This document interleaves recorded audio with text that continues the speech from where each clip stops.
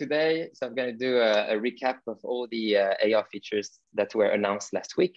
And I'm going to try to synthesize and like give a little bit of my analysis, uh, what's behind all of this. So first of all, let me introduce myself for the one that don't know me. So Oscar Falmer, I'm an AR expert and creative technologist. Um, I'm an early adopter of ARKit. You know, I used to do only iOS development. And then when ARKit came out in uh, summer 2017, for me, it was instantly like uh, something that really made sense and that really resonated uh, with the future, uh, the way I would see it.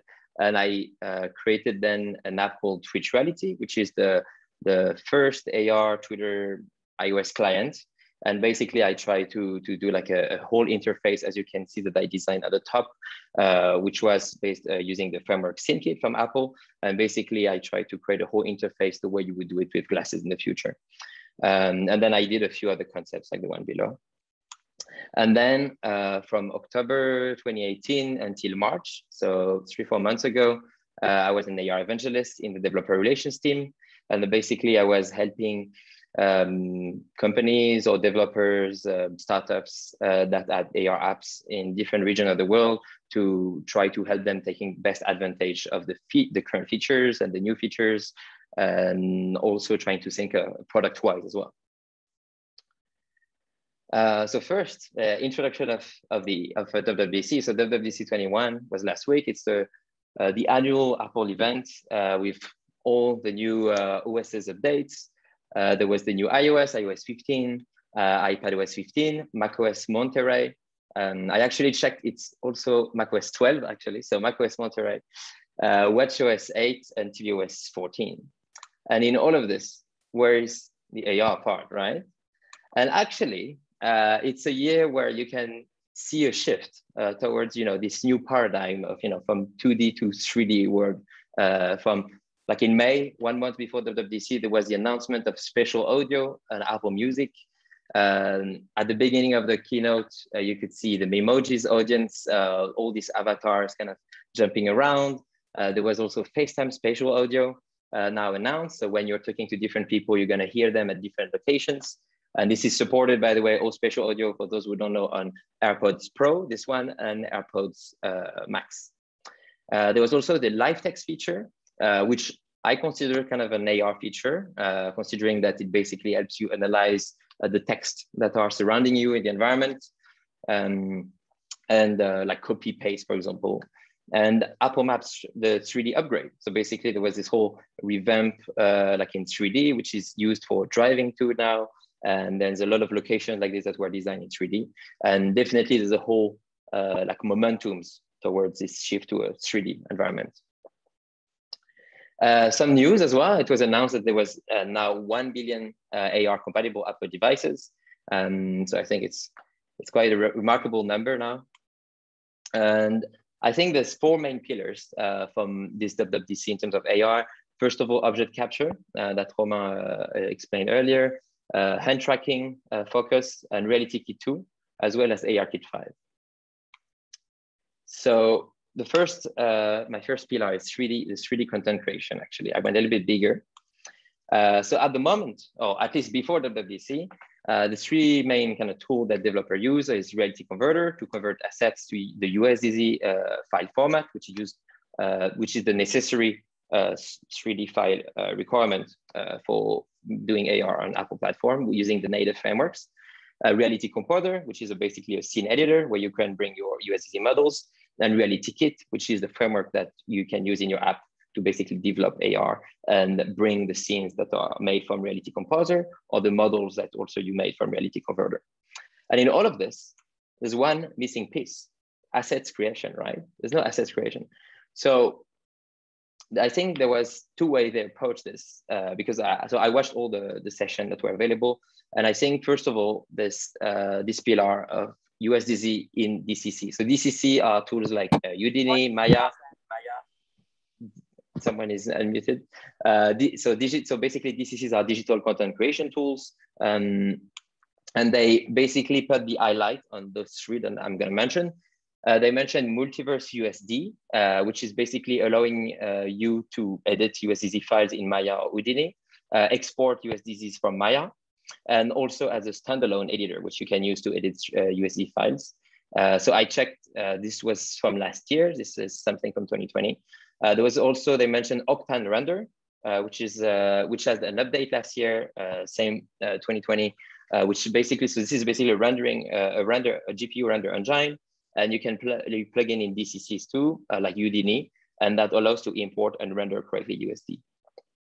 And the big, I think, new thing uh, that they just announced is more that Maya 2022 is going to have native support with USDZ with import and export. So this is quite a big deal because Maya is uh, one of the main tools that is being used for um, 3D assets creation by 3D artists.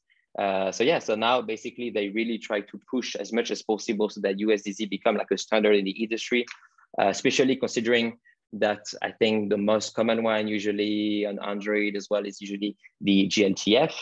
Um, and so, yeah, they have different reasons. So if you want to go more into detail, the, the, session, the sessions explain a little bit more why. But yeah, basically there's a big focus on the integration in the tools that are being used today. And the other focus was object capture.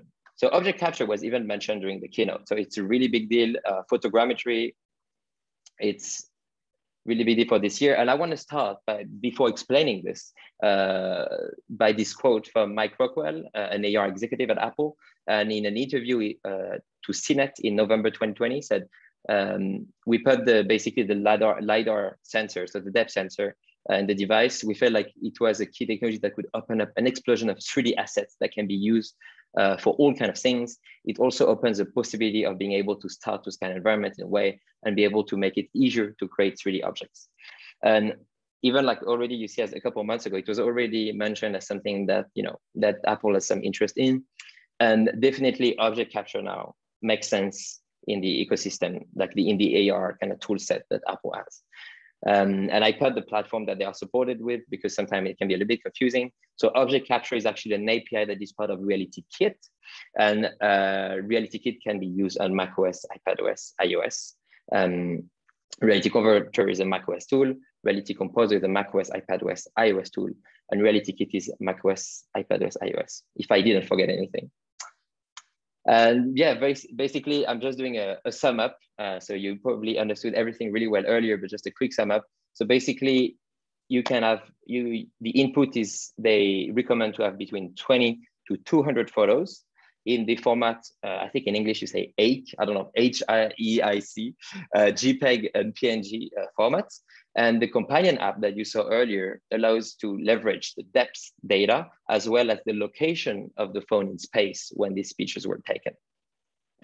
And this basically then is sent to the object capture API, um, which, so this is something that I think we, uh, was not mentioned maybe earlier, but it's only supported on Apple Silicon Macs and uh, Intel Macs that have at least uh, for the four gigabytes AMD and 16 gigabytes RAM. So it's basically only high-end uh, Intel Macs otherwise. And the resol resolution options are reduced, medium, full, and RAW. And then finally, out of this, you get this 3D model. And the output are USDZ, USDA, and OBJ. So these are the three possible outputs. This is the companion app that you saw earlier. Uh, this is actually the ideal photogrammetry setup that they showed in one of the sessions. Uh, so basically, yeah, you would need basically like a, a really perfect environment. If you want to get the best uh, 3D model, um, you know, that would be the ideal setup. But I thought it was worth showing. And actually, it looks very nice. It looks very Apple. So it's always a pleasure to see. So that was all about 3D content creation. Now let's talk about hand tracking. So hand tracking. So last year, uh, Vision framework, uh, which is the computer vision framework from Apple for iOS developers, uh, was announced to have 2D hand tracking. So basically, yeah, 2D hand tracking in, in on the screen space, but not in 3D space. So you didn't have the 3D aspect. And this year, there's a bunch of new features. First of all, there's hand pose classification. So basically, you can do any gestures and it's going to be recognized. Hand action classification. So if I do hi, or I don't know, if I do something like, oh, my head is exploding, this is hand action. And finally, hence uh, chirality, if I pronounce it well. So basically, I didn't know this word before last week, but it means if it's right or left hand. Uh, so this is actually very useful because you can do different actions uh, depending of what you want to do. Like you could do, oh, I want to do something with the right hand, and I want to do something with the left hand. And all of this is possible. I mean, the hand pose classification and the hand action classification are possible with the Create uh, with CreateML, uh, which is a tool that allows you to train models. For the one that are not familiar with it, uh, just a quick recap. Basically, with CreateML, you create your own ML model, and then basically you run it on device with CoreML. And I actually checked it's compatible with all the OSs, macOS, iPadOS, iOS, watchOS, tvOS. So that can be used on a wide range of devices. So that was a quick recap. And now basically CreateML has the two new feature, hand pose classification and action uh, classification. And also they announced this year that there was a new uh, feature which allows for preview on Mac. So on Mac right now, you can actually check what's the result of your model directly without having to set it on device, create an app, etc. You can test it directly. This is two examples.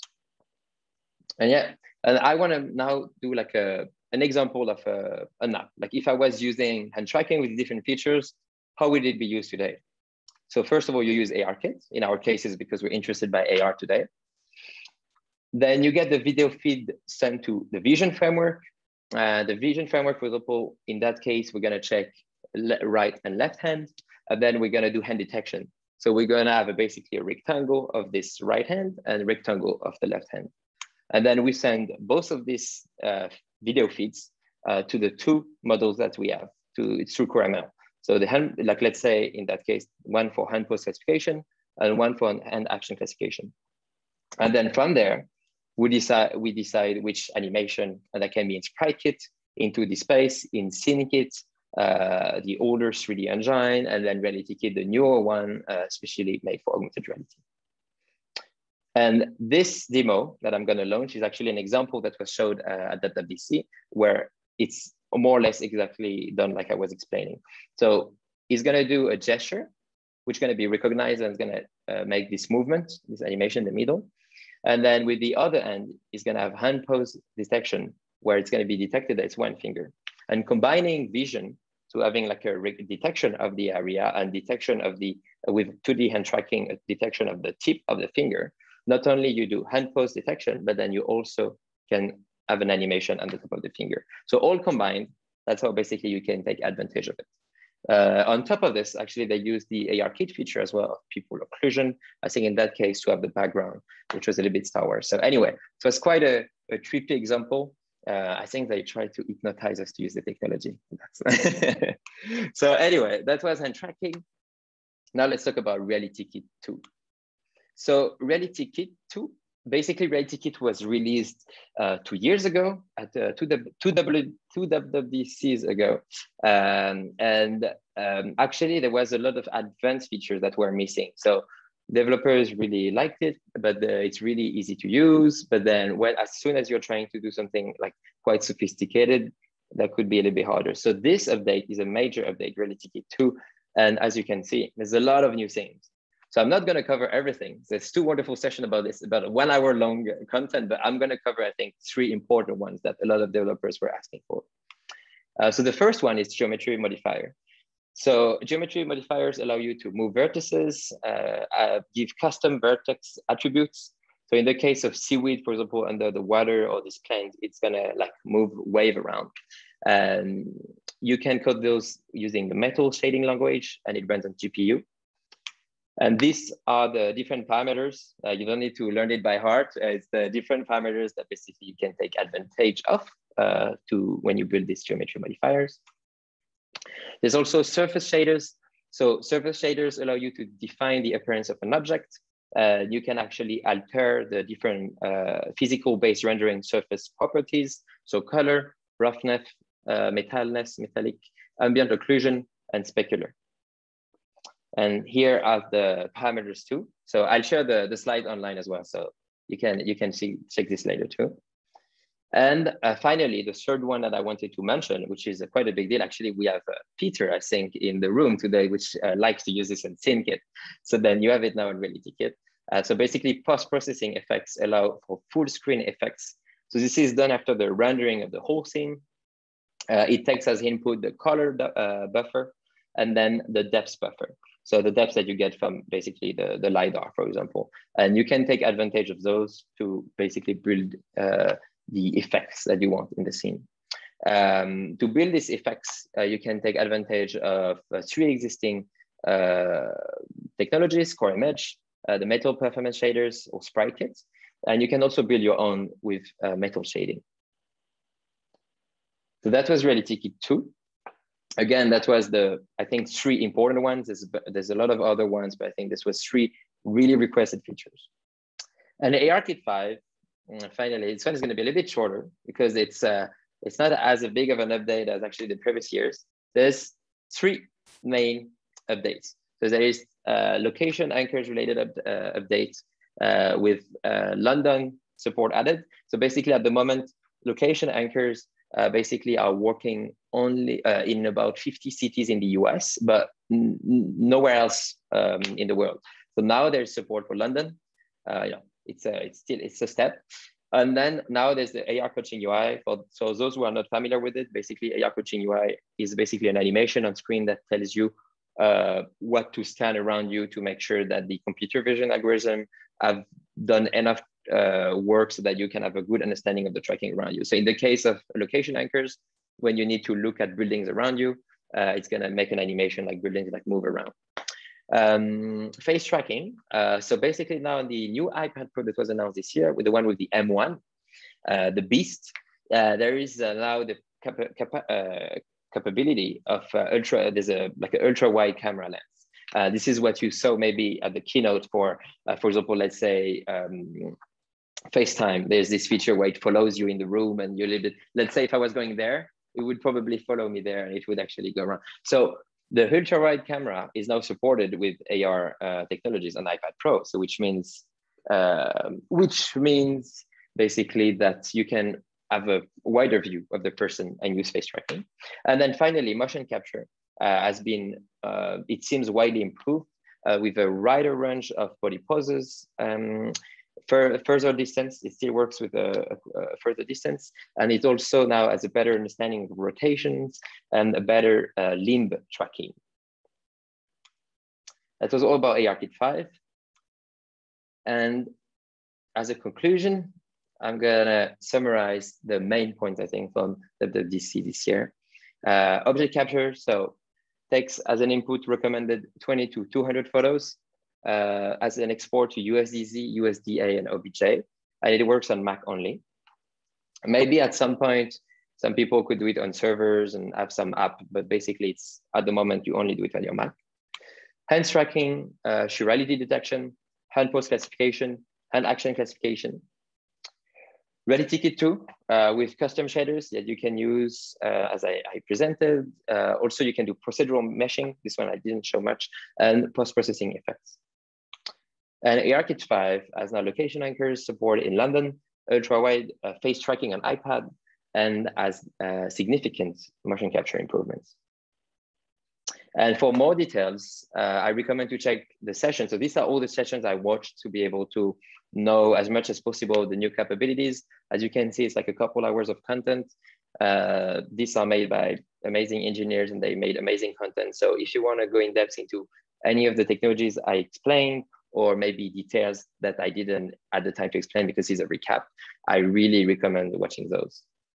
So thank you very much and happy to take any questions.